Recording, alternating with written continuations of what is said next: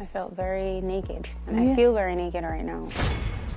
You have an accident, and a life is lost. Mm. I can't imagine that if it were my relative. Yeah. You know what I'm saying? Like, Yeah. I, Yeah. I don't know how I would move toward forgiving somebody for that. As a public facing person, people tend to see you as a kind of figurine. It is a very lonely experience. I've been able to fall apart um, in prayer. If I was ever having doubts about God, it's like that's not a thing anymore. Sim Soul Sessions, Monday nights at 8:30 p.m. right here on TVJ.